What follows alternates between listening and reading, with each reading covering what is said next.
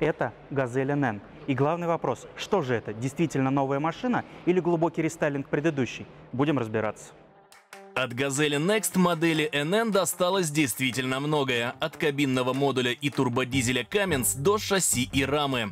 Однако перепутать старую и новую машины нельзя, ведь последней полагается модная светодиодная оптика и радикально перекроенное оперение. А вот в кабине новое абсолютно все. От обивки пола до обивки потолка. И, конечно, совсем другая передняя панель. Причем в ней столько отсеков и емкостей, что найдется место буквально для всего. Кроме панели нельзя не заметить иные кресла, притом водительское подрессоренное, а пассажирское раскладное. Из средней секции можно соорудить столик. Внутри грузовой отсек вроде бы выглядит как раньше. Но на самом деле кузов стал крепче, дверные проемы жестче, плюс появились новые дверные замки и дверные петли.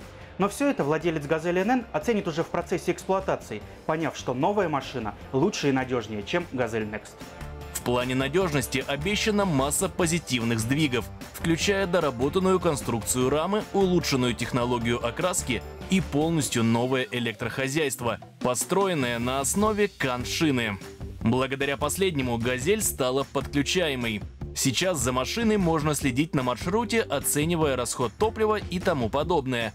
А вскоре владелец получит возможность управлять некоторыми функциями удаленно.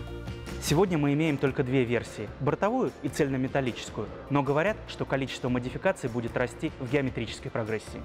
Уже запланировано три варианта полной массы, четыре длины колесной базы, две высоты крыши и шесть типов кузова, не считая спецтехники.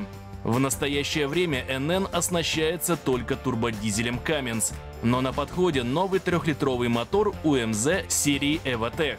У него сразу будет несколько исполнений – бензиновое, метановое и пропан-бутановое. Пока единственная коробка передач – свежая шестиступка, спроектированная и выпускаемая самой группой ГАЗ.